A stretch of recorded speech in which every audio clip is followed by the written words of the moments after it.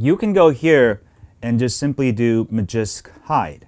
All right, that's all we did. And now you will see that it works just fine. There's no delays. It should go straight right into the game.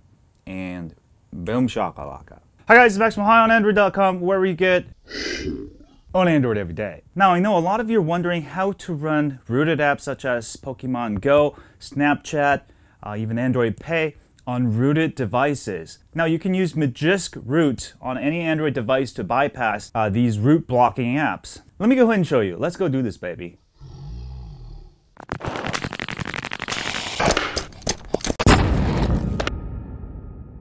All right, so let me go ahead and demonstrate uh, what happens if you have a rooted phone playing Pokemon Go.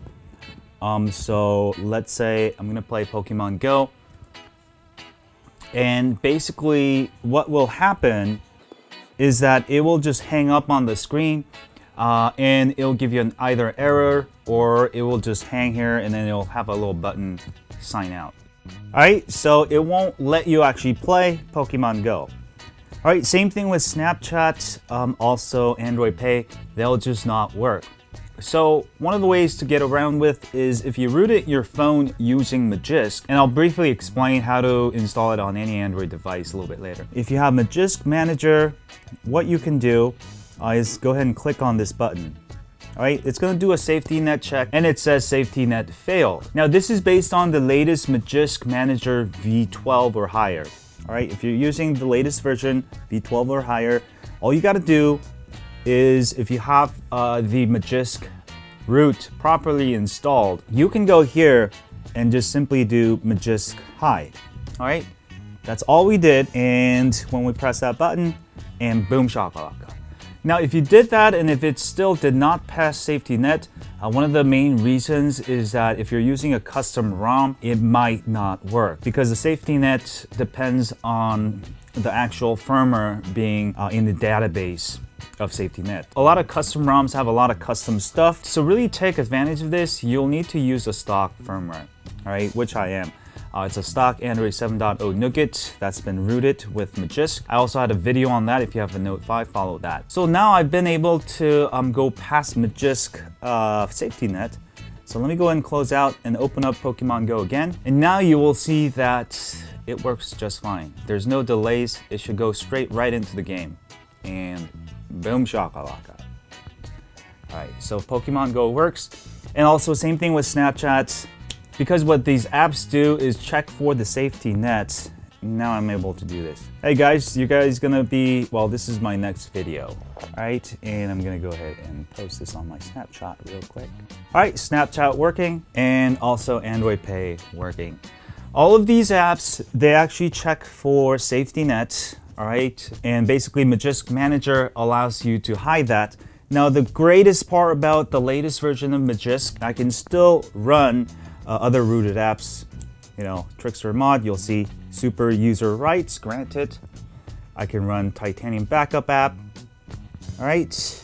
And it's just, it's just a warning, but it still works just fine. So this is a great way um, to enjoy all of your rooted apps and also be able to run apps that block. Pretty cool, right? All right, for the purposes of this video, I'm not gonna show you step by step on how to install Magisk because every phone is different.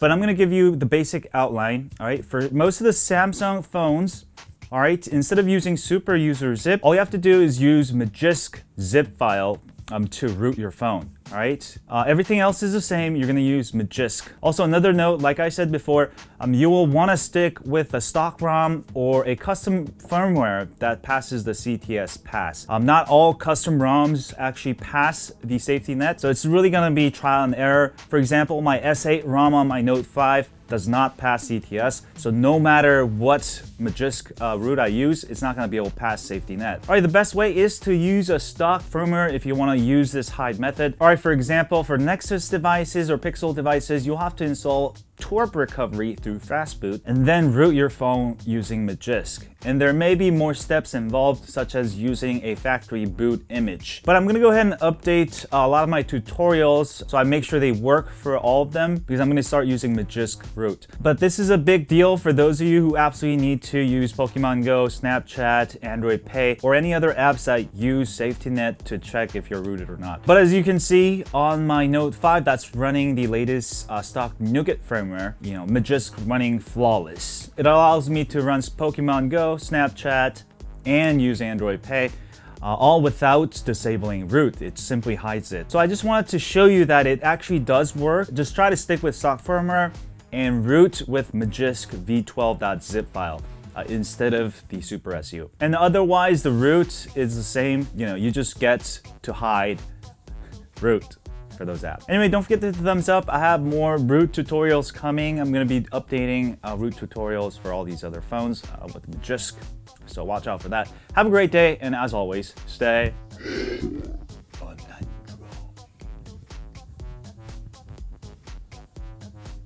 Click here to subscribe.